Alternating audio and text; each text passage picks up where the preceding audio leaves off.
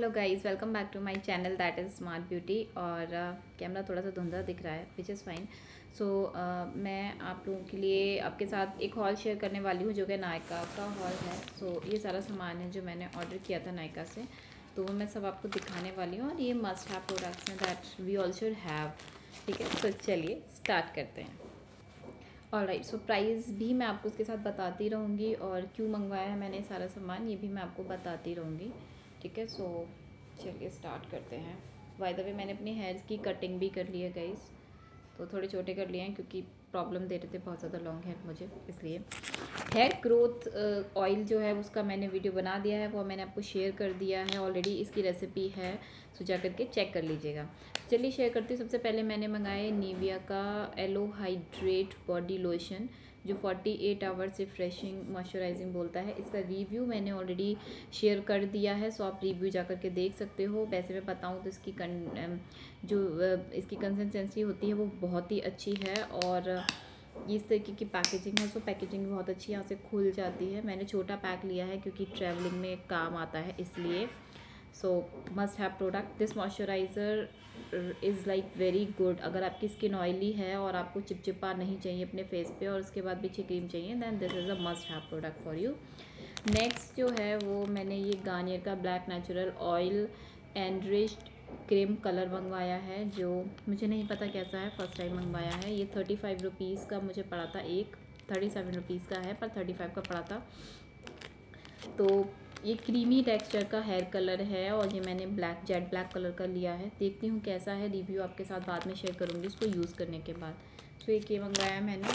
Then मैंने मंगवाया है body lotion of Lux this is ninety nine rupees और ये नाइन्टी नाइन रुपीज़ का ही पड़ा है मुझे।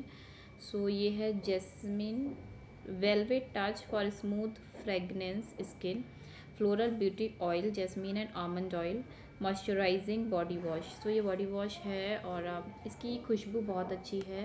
And if I talk about use that's good nice बुरा नहीं है। दिस इज़ नाइस मैं इसे यूज़ कर चुकी हूँ ऑलरेडी दो बार। इसके साथ the best part is that मुझे लूफा फ्री मिला था। सो so, ये लूफा का पैकेट इसके साथ फ्री मिला है जो कि अच्छी क्वालिटी का है गाइस और इस पर लक्स का टैग भी लगा हुआ है।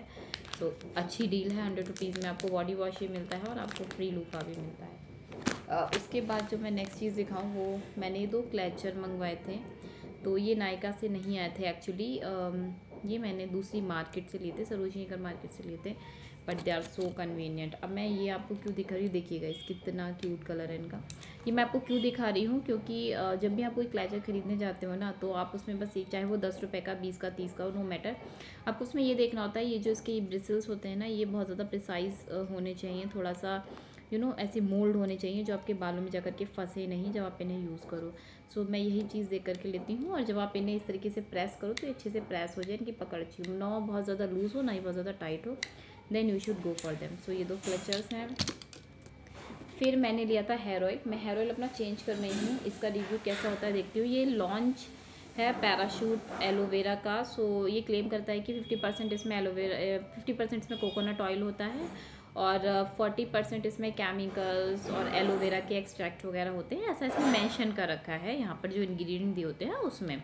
आप इंग्रेडिएंट्स पढ़ लेना तो मैं इसे यूज़ करके देखती हूँ। हाउएवर इसकी जो स्मेल है ना, वो बहुत ही अच्छी है। कोकोनट वाली स्मेल है इसके अंदर। So let me use it फिर मैं आपको बताती हूँ कैसा है ये यूज़ करने के बाद। तो इसका भी मैंने छोटा पैक लिया है टेस्टिंग के पर्पज़ से। इसका रिव्यू मैं आपको दूँगी। देन मैंने ये हिमालय का काजल मंगवाया है। इसका रिव्यू मैं ऑलरेडी दे चुकी हूँ आपको। सो ये मैंने अपने बेबी के लिए मंगवाया था। उसके बाद मैंने ये मैट नील पेंट मंगवाया है। ये नायका का है। यही मैंने अप्लाई भी कर रखा है अभी अपने हाथों में। बहुत अच्छा है गाइस एक बार आप लगाते हो, एक मिनट के अंदर सूख जाता है। मैट फिनिश देता है। तो अगर आपको मैट फिनिश वाला चाहिए ले सकते हो। एक चीज़ है इसमें, आप अभी लगाओगे तो पैर में आपके नेल्स थोड़े से चैप्ड हो जाएँगे। So take care of this thing कि मतलब ज़्यादा लॉन्ग लास्टिंग नहीं है ये but for short time it is nice colour range इसकी बहुत अच्छी है। और नेट में नेट में तो बहुत ही अच्छा फिनिश देता है। देन ये लेकमी का इंस्टा लाइनर है, जो वाटर रेजिस्टेंट आई लाइनर है। I believe it is very nice बहुत अच्छा है, ये मैट फिनिश देता है लगाने के बाद आई लाइनर और अब करवा चौथ मेकअप लुक में मैंने इसी को यूज़ किया था। ब्रश इसका बड़ा प्रिसाइज है। That's it everybody this is all about my haul I hope you enjoy this haul and blogs आएँगे, दिवाली खास भी मैं शेयर करने वाली हूँ आप लोगों के साथ। So stay tune with me happy Diwali bye bye enjoy your day